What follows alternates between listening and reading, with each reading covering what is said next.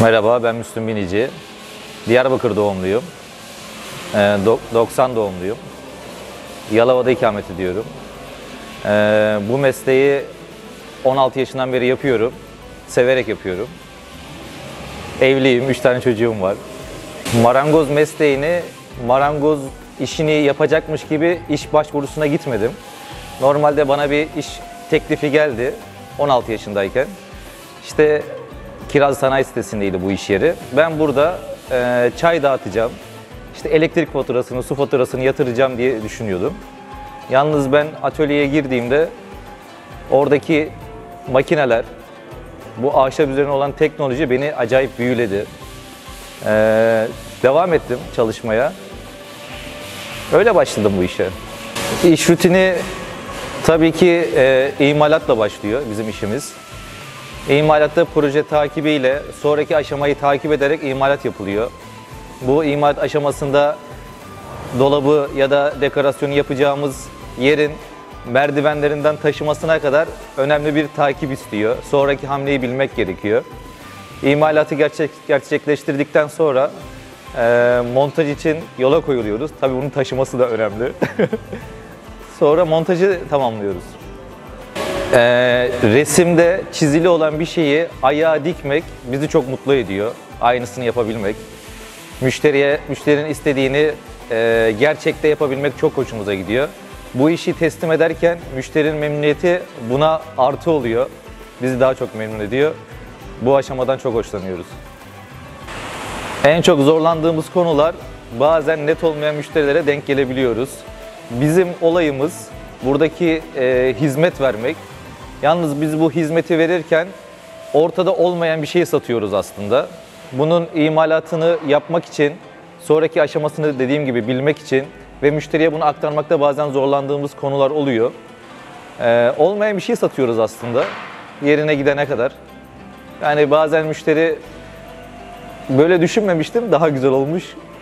Bu bizi mutlu ediyor. Bir de taşıması zor ya başka bir şey yok. Yani olumsuz olarak karşılaşmadık daha.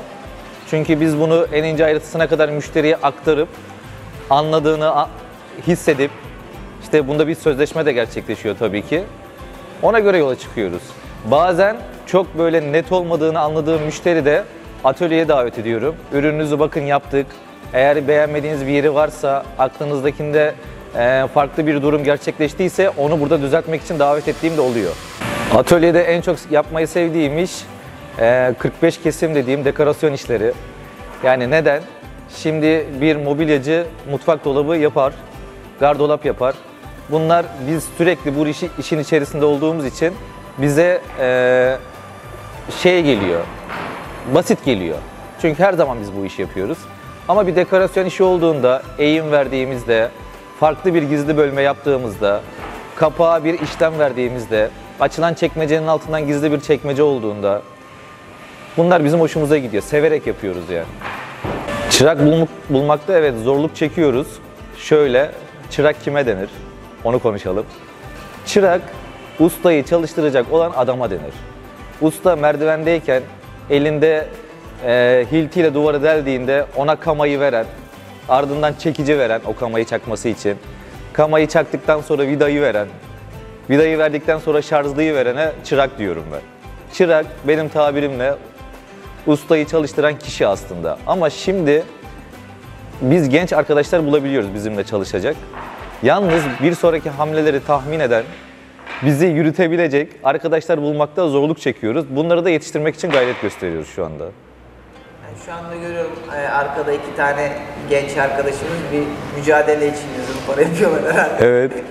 Bunlar da o seviyedeler mi? Daha hangisi? Bunlar bu mesleğin tozunu yutsun diye zım, zımpara yapıyorlar şu anda. Yani ikisinde de ışık görüyorum bu arkadaşların. Yarın Ne zamandan beri çalışıyorlar bu arkadaşlarımız? Ee,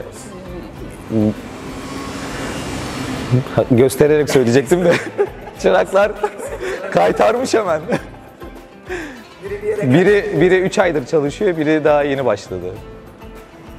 Kendilerini çıraklık okuluna gönderiyoruz bu arada. Bu işin hem e, eğitim olarak Teorik kısmında teori kısmını da alıyorlar. E, hem de e, ustalık belgelerini alacaklar. okulu bitirdikten sonra.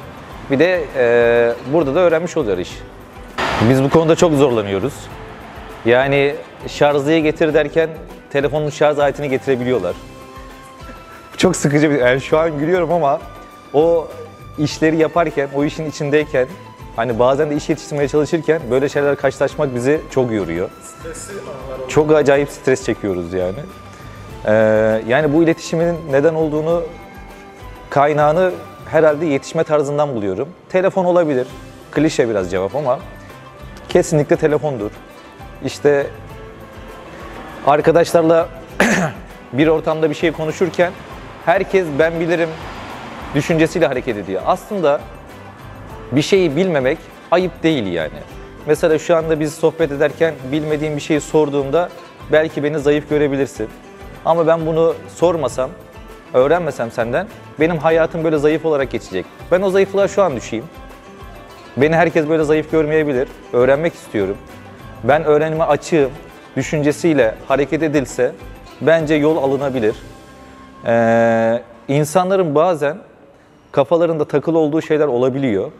İşte burada kulağı açıp iyi dinlemek de önemli yani. Öyle diyebilirim. Ee, usta yetişecek mi? Biz bu mesleğin son adamları mıyız diye düşünüyoruz bazen. Şöyle, önce bir gayret olmalı değil mi? Yani biz ben kendi adıma konuşayım. Şu anda o gayreti veriyorum. Benim yanımda çalışan çıraklarından birinin babasının atölyesi var. Mobilya atölyesi var. Babası bir usta. Ee, bunu daha sağlıklı yetiştirmek için bir mücadele ver, veriyoruz şu anda. Onu da başka bir mobilyacı, mobilyacının yanında çalışarak gösteriyoruz zaten. Evet bu bizim bir eylemimiz. Ee, gençler için biraz mücadele var. Yapmak istiyoruz çünkü el vermek istiyoruz yani. Bu işi öğretmek istiyoruz. Yani bana bu işi gösterenler, öğretenler bana şunu söylüyorlar. Biz sadece bunu sana öğretmekte kalmadık, sen de öğrenmek istedin dediler. Gerçekten onların da adım atmaları gerekiyor. Yarın öbür gün ne olur? Çok kötü bir senaryo çizeyim kendi kafamda. Aslında kötü bir senaryonun sebebi de şu. Ee, anlatınca anlayacaksınız. Birkaç mobilyacı e, kendi başlarında bu işi yürütmeye çalışırlarken, işte bu gemiyi yürütmeye çalışırlarken zorlanacaklar. Çünkü bizim işlerimiz sadece atölyede bitmiyor. Bu işin taşıması, montaj aşaması, imalatı zor. Tek başına yapılacak işler değil. Ee, birkaç mobilyacının bir araya birleşerek belki de beraber iş paylaşımı yaparak gemiyi ve bu serüveni yürü- yürütebilirler diye düşünüyorum. İşte buradaki zorlukta e, herkes usta, herkes dükkan kapatmış, bir yerde bir çatı altında buluşmuş. E, sıkıntılar çekilebilir diye düşünüyorum. Yarın öbür gün e, bu işin mobilyasını, e, plakasını kesip, bantlayıp, imalatını yapıp yerine takan makineler olmazsa bu iş zor olacak yani. Yani gençlerin şu anda en çok yapmak istediği meslek ne sizce? YouTuber olmak. YouTuber olmak. Çok kolay. Yani bir YouTuber'la doktor arkadaş edinebilirler mi? Edinemezler. İşte emniyetten bir arkadaş, öğretmen bir arkadaş, diyetisyen, diş doktoru. Yani bizim meslekte biz insanların eee, hizmet verdiğimiz için, bütün insanlara hizmet verdiğimiz için eee, samimi dostluklar kurabildiğimiz, kendimizi geliştirebildiğimiz, çevremizi büyütebildiğimiz, e, aslında tam anlamıyla bir kariyer oluşturduğumuz bir meslek dalı aslında bu. Sadece mobilya için demiyorum bunu.